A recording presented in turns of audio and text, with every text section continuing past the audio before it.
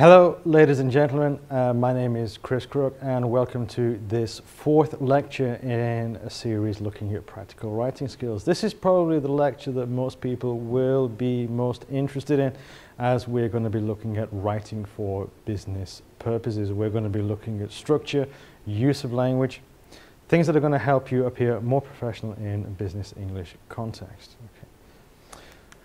As we've started with before, this is uh, the fourth in, in, the series of five. We've looked at tone and register, we've looked at summarizing and paraphrasing. We looked in the last lecture at writing a formal report. We gave you some of the basic structure that uh, you would need to look at and some of the questions that you need to think about when you're writing a report. In this particular lecture, we're going to be looking at writing for business purposes. Um, very generic guidelines. We're not going to be, obviously I can't cater for um, what you will be looking at yourself looking at emails that you've been writing yourself, so I can't give you specific advice. And we'll give you a short homework task at the end of this. In the next lecture, we'll be looking at writing at writing for uh, personal statements and resumes and CVs. So in this particular lecture, we're going to be looking at using critical thinking questions to help us write business emails in a in a more better, in, in a more better way, in a better way, I mean to say. We're going to be looking at some of the basic questions, again, all through this practical writing course. The thing has been to focus on critically appraising your own work. It's not really been um, to give you formats and to give you templates that will guarantee you success, but to be able to take away general guidelines and questions that will able, enable you to improve later on.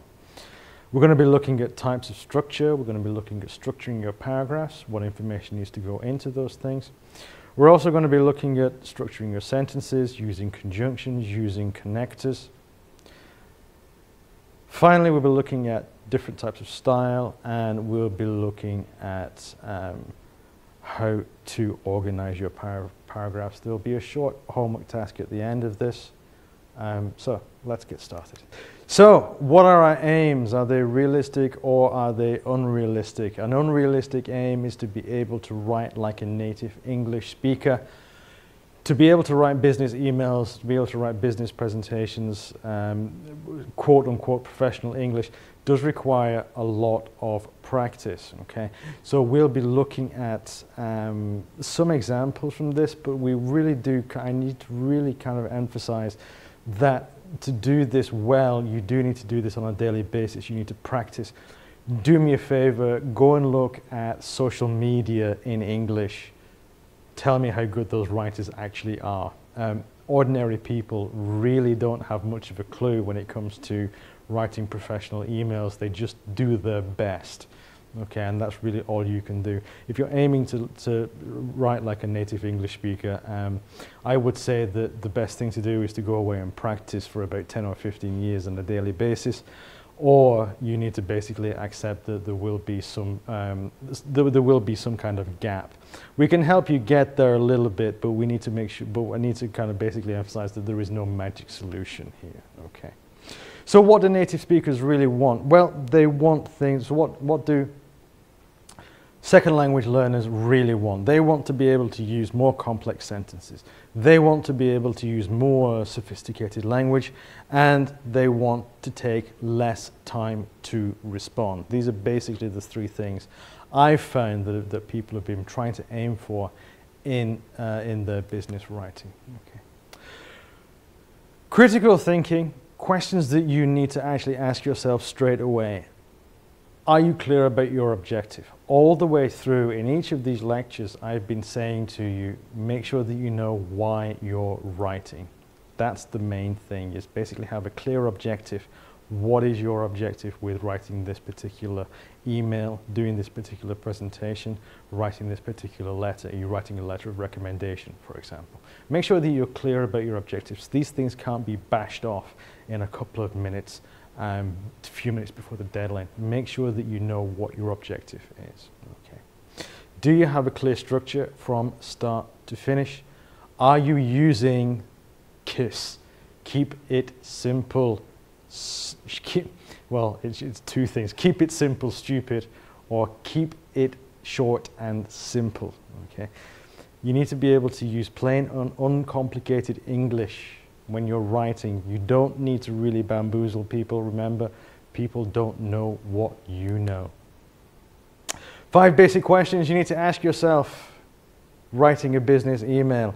First of all, who are you writing to? Why are you writing to this person? There's a big difference writing to the uh, sales assistant in a shop and writing to the CEO of the company that owns the shop. There's a big difference here. You need to really sit down and think. People do this thing unconsciously. Native English speakers and native Chinese speakers will do this type of thing unconsciously. You really need to learn these things. Uh, when, when you learn something unconsciously, you have to really understand that you've done it so many times that you're not really thinking about it. And that is the key thing. You need to change from being a conscious thinker to an unconscious thinker when it comes to this. Um, you know how to talk to your parents and your family. Uh, you need to you know how to talk to members of your family. You know the proper register to talk to the dean of the department in Chinese. You need to learn that, but you need to learn it in English. Um, it, it just requires a lot of repetition. That's all it requires. What's the message that you're going to be conveying in this particular uh, email, in this particular letter, in this whatever you're writing, text message? Okay. So, what is the message that you need to convey? Um, what is the underlying emotion as well? Are you angry? Are you very, very happy? Are you, you know, what, think about, spend some time thinking about uh, what emotions need to be in that letter and how the language will change to reflect that emotional state. Okay. How much can you spend on this? How much time can you spend on this? Do you need to just quickly write a quick note to someone saying thank you? Or do you need to actually sit down and write a formal letter in the space of an afternoon? Can you dedicate an afternoon to writing one letter? These different time constraints will determine how much time you can actually spend on the letter itself. Remember, people have other things to do as well. And the last thing at the bottom, do you have the relevant information? Do you have the relevant facts? Do you have the statistics to hand? Have you gathered together the information that you need to actually give this person? If you're responding to a customer inquiry, for example, this is vitally important. What's your relationship with the reader? Are you talking to people within your organization or are you talking to customers? Obviously, if you're talking to customers, um, that are coming to you outside of your uh, organization, you need to have a different level of politeness um, than you would. You would probably be a little bit more informal with people in your, uh, within your organization, especially if it's a small company, especially if it's a more modern internet startup, for example. You can afford to be more casual, you can afford to be more informal. What's the position in the hierarchy of the company? Are they your superiors or are you giving information to um, people who are working underneath you. You need to think about that again. Think about the tone, think about the register. Do you need to be polite? How polite is polite? Um, think about these things. Um, you might even have a close relationship with someone who is the CEO.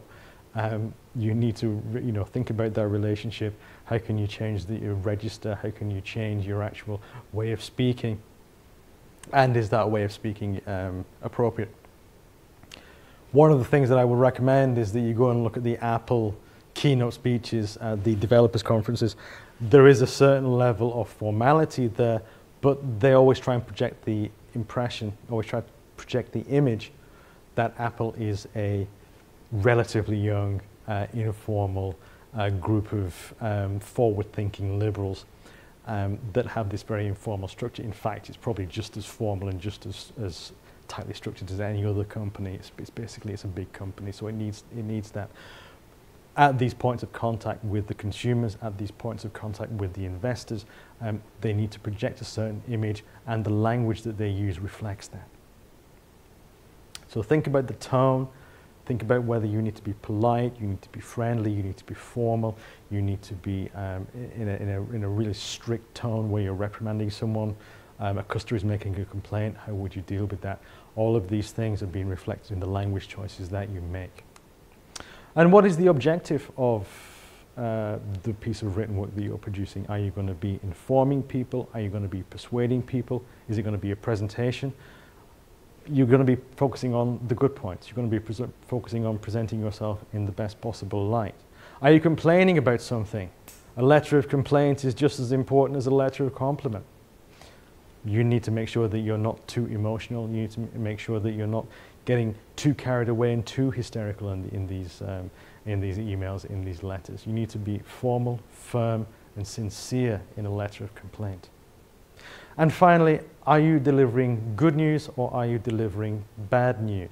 Um, for example, the big distinction here, bad news is often um, delivered in the passive voice. It's one of the very few times that we actually use the passive voice to deliver bad news, to tell people that they've been fired, to tell people that a contract has been cancelled. We don't want to really lay blame on people's uh, on certain people in the organization, but we do need to deliver what has happened. We do need to tell people that. Why are you writing? Oftentimes people are writing because the message that they want to give is usually too complex for a phone call. So there will be times, in a phone call it's very, very difficult to actually go back and forth and up and down through different paragraphs looking at different pieces of information in a text message. Text messages, uh, short messages, instant messages, they're not really geared for a business environment the point of messages that you send over WeChat or the point of messages that you send over iMessage or you know WhatsApp messages or anything like that is basically to cut down on the number of irrelevant uh, emails that people are sending about small points. You don't need to send an email about every little small point. You can send a message like this. Don't make the mistake of delivering sincere bad news via uh, text message. No one wants to be fired via SMS. Okay. Think about while you, why you're writing. If you need to lay out a complex story, this needs to go in an email. This needs to go in a letter. Okay. Importantly, in a lot of business context, you'll find that the document, uh, the message or the information has to be documented in some way. So for example, at the university setting like this, we need to actually make sure that people have received information about when their final exams are. So that needs to be documented. So a great example is documents from the bank. People, will, people from the bank will send you a letter saying that you've, you've gone over your limit, you've, you've gone overdrawn, and you've now been charged £25. If you, if you try and dispute that, everything is documented, everything is written down, everything is scanned in, and then legally you will have evidence and then you will have some standing there. Points and opinions often need to be formalized. Um, you need to take a certain stance on something, um, present it in a meeting. You can't just raise a question at the meeting and then have everybody ignore you. This is no good. Once you've written it down and once you've taken up room in someone's inbox and when you've, once you've got, a, you've got a, a letter on someone's table taking up room, it's very difficult for them to ignore that. Um, they, can, they can still ignore it, but it's a little bit more difficult than just you know, um, shouting someone down in a meeting. If a written response is needed in some way, a receipt is needed, or um, a reference number is given to, some, to someone, uh, talking about sales here, sales and um, you know tracking orders is, is something that, that will always um, that will always come up in, in a business context where people will want to know what is happening. There'll be things that will happen outside of you, your control. I'm sure you've had this situation where you've ordered food um, from an online vendor and then the food has been delivered and something's missing and then they've just refunded you. You need to have a more formal paper trail, as we say, um, when it comes to tracking these things because people, people will try their luck and try and get something for nothing. In terms of the boss talking to the, uh, the staff, we do need to have a certain level of authority that needs to be established um, in, in, in what we say the food chain of an organization. Um, ask questions, make, making sure that you're asking questions to the right person. Don't ask questions directly to the regional manager, for example. You need to talk to your local manager for that. Um, an email is the best way of, of establishing that particular flow within um, a certain company structure. When it comes to planning your information, uh, planning the information that needs to go into the message, think about the objective and then establish that objective. Why is someone writing to you? Okay? Why is someone writing this letter? Brainstorm the content. Take a few minutes just to write down a few ideas. Uh, point one, two, three, four, five. That's really all you need. Um, make sure that those things go in there make sure that the, the actual skeleton of the message is actually in there. Okay, so brainstorm what needs to go in, what doesn't need to go in. Um, during the brainstorm, remember that we're not really censoring our ideas, we're not really editing our ideas. If it's a good idea or a bad idea, it goes down. We can edit that, we can, we can cut things out later on. We don't, we don't worry about editing during the brainstorming session. Very, very briefly, you can prepare an outline. Uh, you can do this in any, any word processing package. You could probably even do it on your phone. Prepare an outline, what you'd like to lead in with, um, what you'd like to conclude with at the end, what's the final message that you'd like to lead, leave with the reader at the end of it. Um, do get into the habit of redrafting things. It really, really does help improve your English. I think it's one of the main, one of the most important things, the key things that you can do to actually improve your written English would be to um, draft and then redraft and then rewrite. Um, remember, the first draft of everything is, is terrible, so don't be afraid of going back and reviewing your ideas. Expand on details that you wrote down in the brainstorming session, and then make sure finally that you keep to the plan. Um, salutations, friendly, friendly um, messages that establish a close rapport with the reader. These are all fine, but don't go too crazy with them.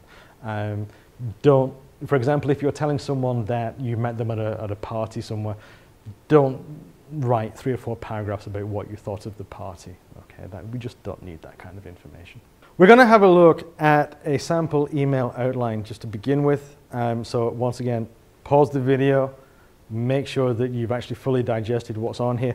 We're going to be writing um, keynotes for a sales conference email. Um, what were the main problems here? What do we want to include in the email? We're just going to go through them point by point. Okay. First thing was there was a slow registration process for the conference. Maybe we can do that online next time. Would that be possible? We could probably include that. The speaker Kyle Jones had good ideas on e-sales and there's been a handout included. So again, one of the things that we get with, uh, with email is that we get a more accessible way of actually attaching documents to the email so that people will be able to understand what we're actually talking about. We'll be able to take a photograph of something and actually add it. Um, it's, it is more difficult in instant messaging because messages do scroll up. It is really, really difficult. I find it really difficult anyway to actually scan through a message, scan through a list of messages, find the attachment, what someone's talking about, and then actually look at that and read the email. It's really, really tricky. And email just makes it much, much easier to do in this kind of, in this kind of, um, you know, sending documents, sending examples to people. We met five possible new suppliers at the reception dinner, and the conclusion is useful input, new ideas. Okay, that's what we're going to be leaving with. So we've got a very, very straightforward, simple email talking about um, a conference, even with something this simple, even with something that you might not really think that you need to think about, we still need to do a little bit of planning. In terms of organizing our information, there are a number of different strategies that we can use. We can use a pyramid. We can go from specific all the way down to the most broad we can actually invert the pyramid and we can start with the most specific and go towards, uh, start with the most general and go towards the most specific. Um, we can use chronology. Um, chronology means that we put things in time order. Uh, we can move from problem to solution. We can document a, a process. We can document a sequence, um, the, the, way we start at the beginning and then we move through to the end. Um, and finally, we can actually structure our uh, emails in a, a, a, story. We can, we can give a narrative to that. Um, we can start with the middle, start with the beginning, move on to the middle, and then finish with the end, and then we'll, we'll, uh, we'll be able to, um, to actually apply a narrative to um, what can be any kind of email. Okay. So have a look at this, pause the video, read through it, try and take a guess what kind of structure we're using here. Our clients expect the best in product quality, so we emphasize reliability, availability in our distribution network. This ensures we can guaranteed, guarantee all the features you need. Pause the video. What kind of structure do you think this is? Okay, so this is an inverted pyramid. We start with the most general, the best in product quality, emphasize reliability and availability in our distribution network, and we go from the most general, oh, sorry. So this is a pyramid structure. We start off with specific points, and then we move with uh, move down into the most general. So we start with best in product quality, emphasize reliability and availability in our distribution network. This is very, very specific. It goes at the top. Pyramid structure, and then we finally end with, this ensures we can guarantee all the features you need. This is very, very general. We go from specific to general. It's a pyramid structure. Okay, how about this one? The negotiation went well yesterday. Today, we've spent time agreeing delivery terms. Tomorrow morning, we will draw up a contract and hopefully get it signed by the end of the week. Pause the video. What kind of structure do you think this is? If you said chronological uh, time order, then you're absolutely right. We start yesterday, we focus on today, then tomorrow morning, and then by the end of the week, we move through time order. Okay. Let's have a look at this one. Uh, to log into the system, enter your username, type in your password, answer the security question, enter the four-digit security code. What structure do you think this is? This is a process sequence. We start with number one, move on to number two, three, and four, walk you through the different steps, exactly what you need to do at every stage of the process. Okay. Have a look at this one. Read through it, pause the video, read through it. Apologies for not making it to the meeting yesterday. This was due to a major problem at our plant in Cologne. Fortunately, I contacted Jan, who, forward, who forwarded me the main conclusions reached in the meeting. I'll be at head office next week to finalize the details. So what kind of structure is this? This is, of course, a problem solution. Um, fortunately, the problem was there was a major problem at the plant. She wasn't able to make the meeting. The solution was that he contacted Jan and he was able to fill in all the details. He'll be available next week. Okay, we had a problem, wasn't able to go to the meeting. The solution was basically we contacted Jan and will be available uh, next week to finalize the details. That's the solution. That's the happy ending to the story. Okay. Again, another example of a problem solution. Several employees have recently had problems with remote internet, internet access. This was due to a change in access protocol.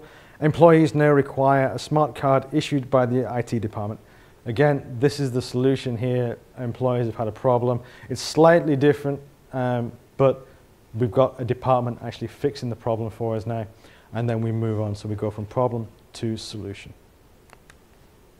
And this last one, the team leader has built on her motivational qualities by using an interview approach to her personal development reviews. This has resulted in a higher performing development team. So again, pause the video, what kind of structure do you think this is? So if you said that this was a story, you are absolutely right. We have a beginning. The team leader has built on her motivational qualities.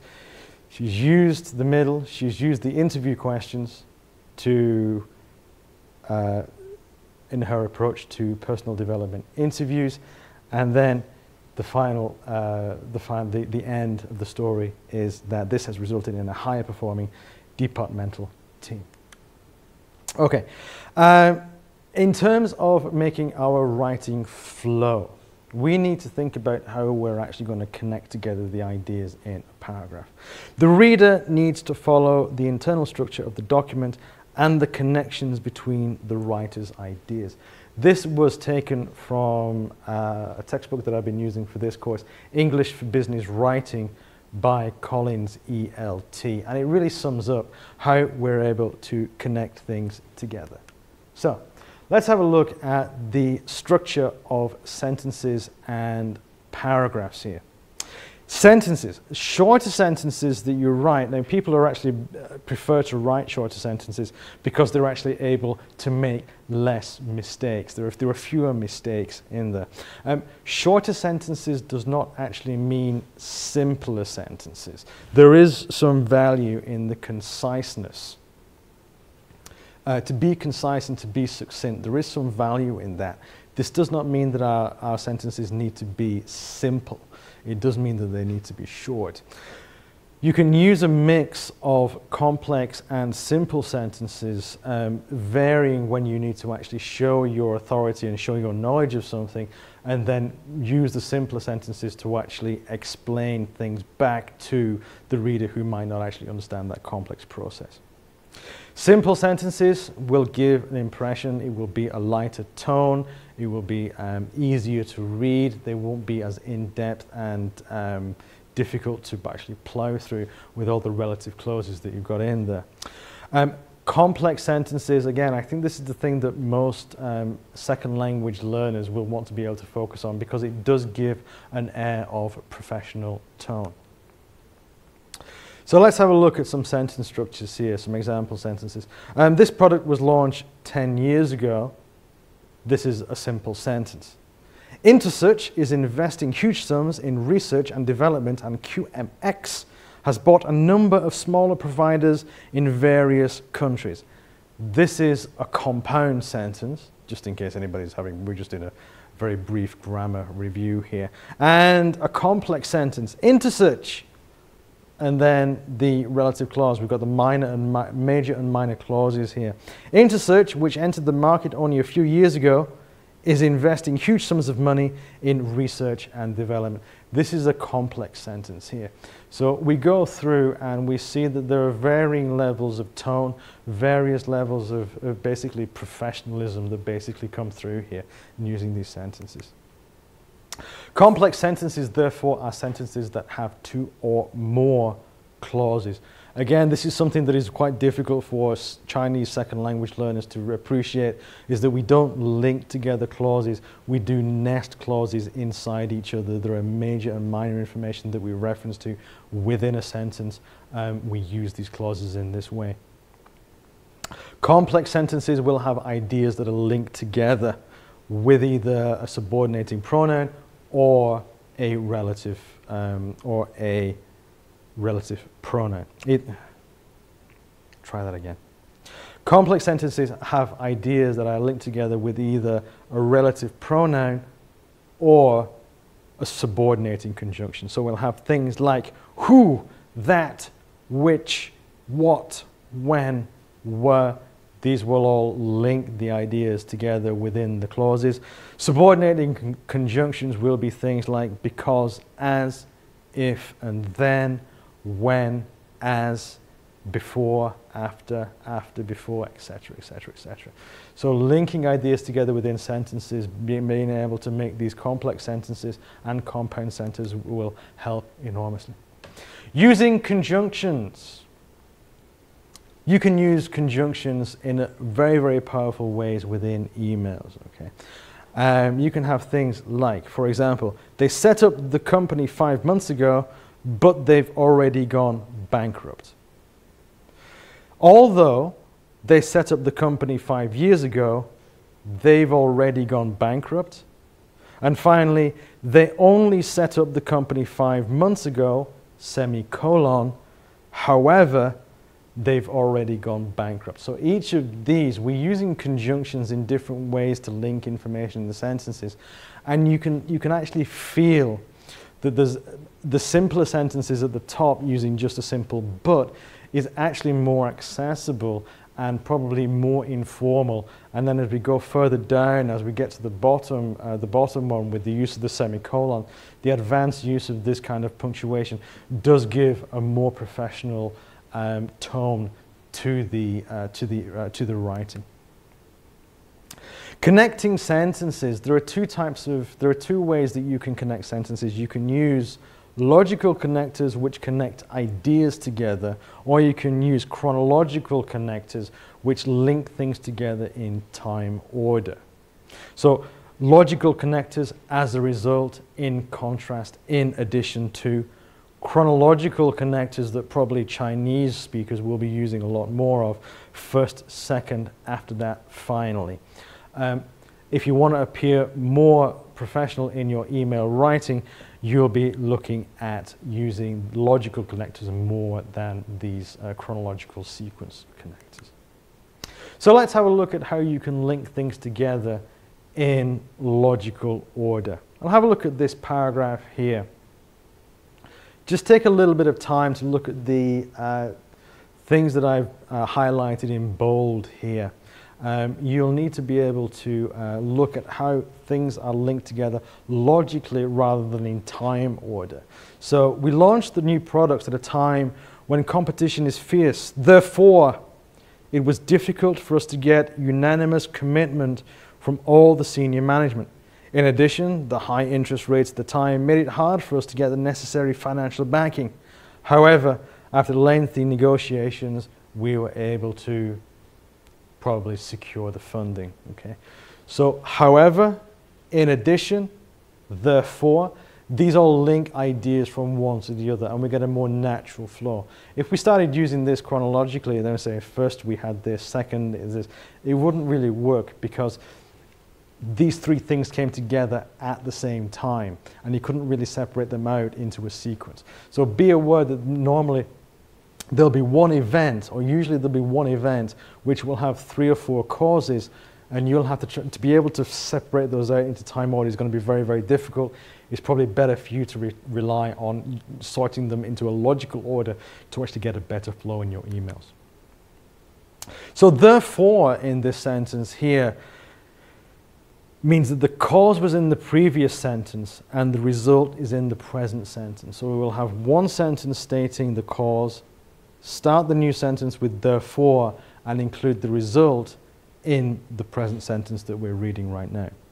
In addition, extra information that was present in extra information in the present sentence can be combined with information from the previous sentence.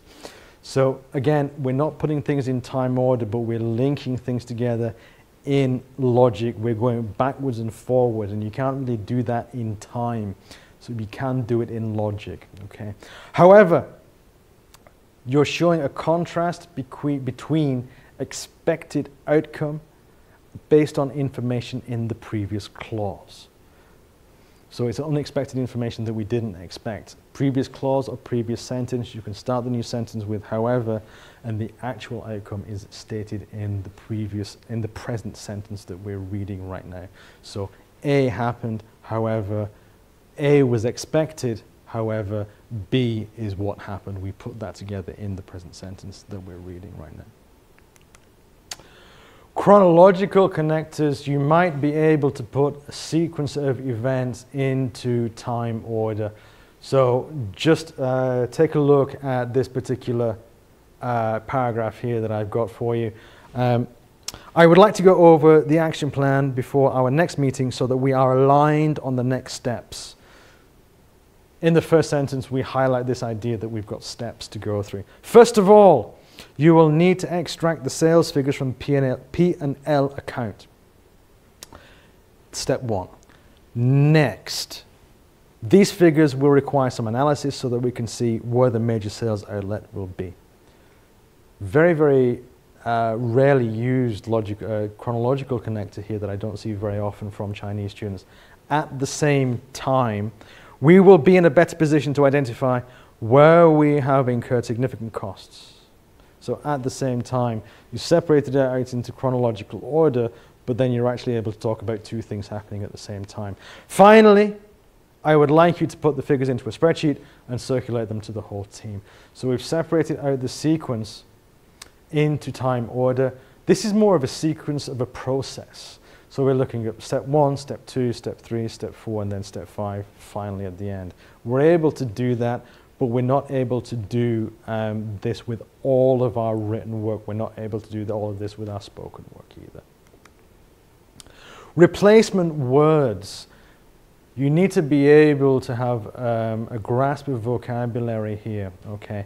So you need to be able to use replacement words, synonyms, to avoid repetition and avoid being boring. This is how you avoid being boring in, in English, okay? Sales were well above target. They reached. We don't repeat the word sales in the sentence, okay? We can use they, the sales. We reference back. I think this, is, this causes a, few, a bit of confusion, especially for learners of second language. It, if we've already defined what it is, the car, something, something, something, it was able to. We're able to drop the actual uh, noun and use a pronoun instead. 3 million euros, and this represents a 10% rise on last year. So 3 million euros, this and they. We replace the pronoun with things like this and they, and we're able to actually make our language a little bit more interesting. Text flags. Um, text flags or signposts, you might know these as. They show people where the important information is. Um, if you've done any kind of academic writing course, uh, you will know that this signposting is very, very important in academic writing because it tells people where the important information is coming up. Now, these are only used in written English and they're only used really with uh, some kind of graphical supplement, um, a bar chart or a chart or a diagram. Um, above, below, in paragraph 10.2, overleaf, in section 34 on the previous page, on the next page. These signposts actually show physically where the information is on the page. Um, you can use that, but you have to make sure that you've actually got the graphical information, the chart, the diagram, actually on the page that you're referring to. So be aware of layout again as you're, as you're, um, as you're writing uh, your, your document here. Paragraphs. Uh, there is a lot of confusion, um, especially because mostly in Chinese, the amount of information that can be relayed in one sentence in Chinese is probably much more than a sentence uh, in English. Paragraphs have one theme, one idea per paragraph. We're normally looking at five or six sentences per paragraph, okay? That is it. One main point, five or six sentences to illustrate that point.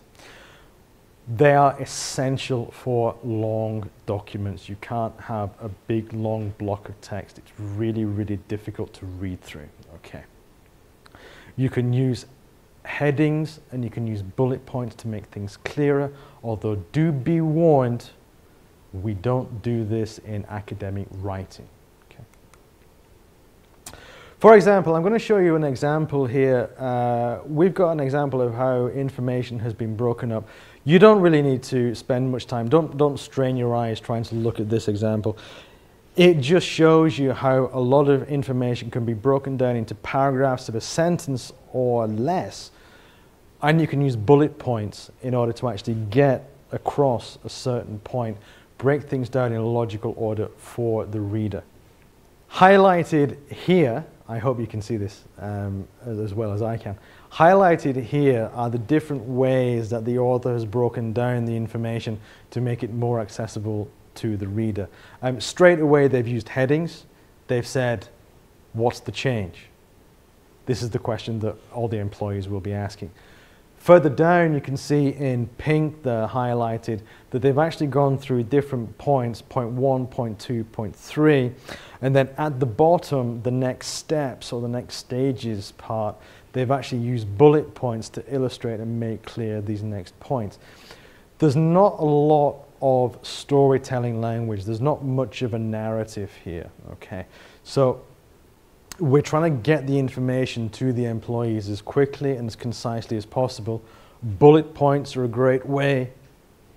Bullet points are a great way of getting that information across.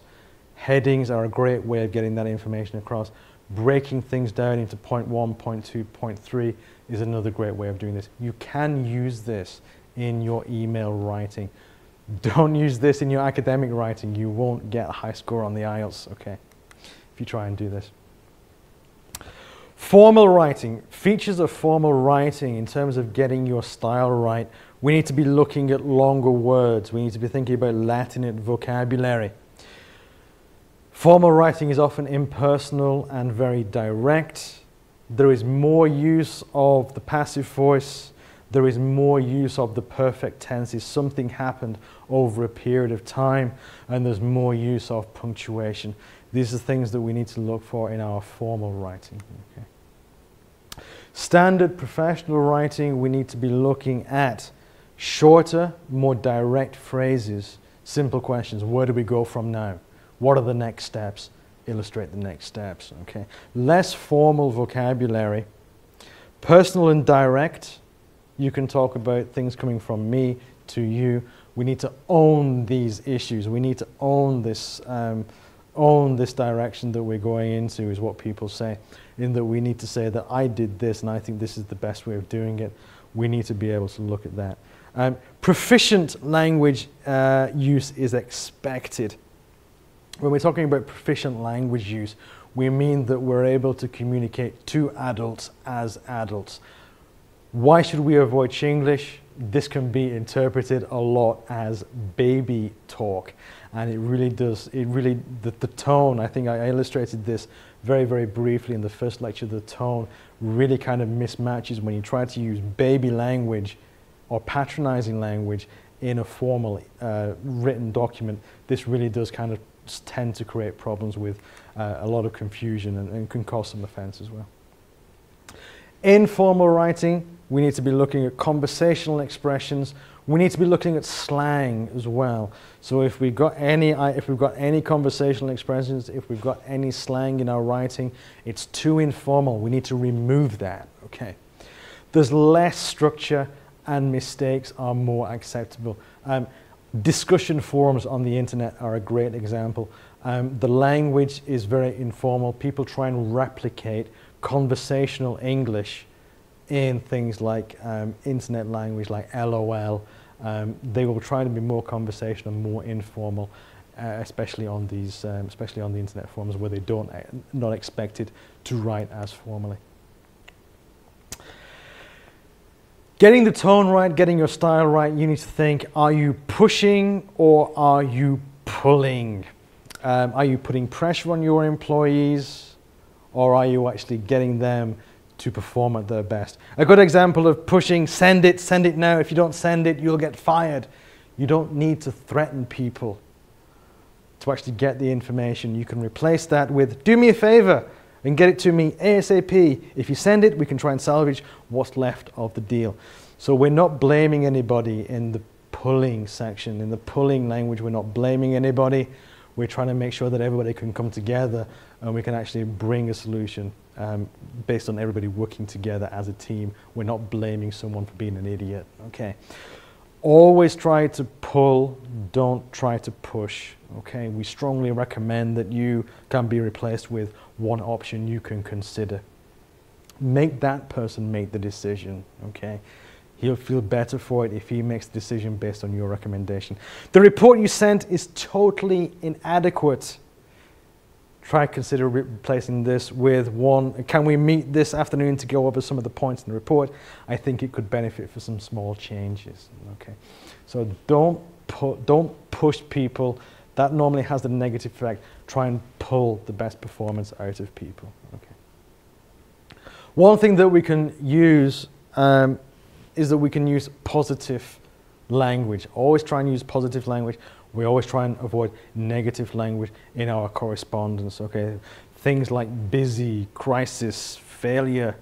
Replace that with actively, agreed, evolving, fast. Um, one thing that you would never say is you would never say, I'm busy. Always try and highlight that you're being productive. Can't, won't, impossible, incompetent, never, stupid.